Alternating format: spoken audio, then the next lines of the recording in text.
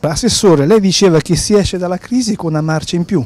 quindi le risorse, le opportunità ci sono per questo territorio. Le risorse ci sono, le opportunità ci sono, la marcia in più intendevo che la crisi, uscire da questa crisi significa un progetto industriale forte, virtuoso, che punti sulla qualità, su quello che c'è nel territorio, quindi un'economia di territorio, ma al contempo attenta ad una nuova formazione, ad, una, ad uno slancio diverso, altrimenti ritorniamo in una logica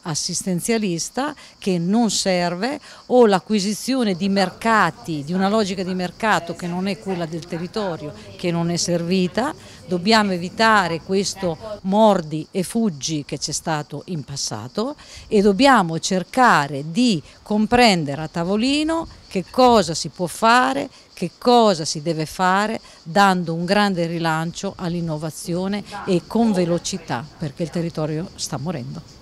Lei parlava anche di buone notizie da Roma per quanto riguarda gli organici scolastici e anche per quanto riguarda la cassa integrazione per questo territorio. Sì, ci sono buone notizie sui due fronti, sulla cassa integrazione che è quello che oggi interessa di più, c'è una proroga della, della, del sostegno ai lavoratori, ai disoccupati e questa è un'ottima notizia. Il secondo punto invece si sta lavorando al Senato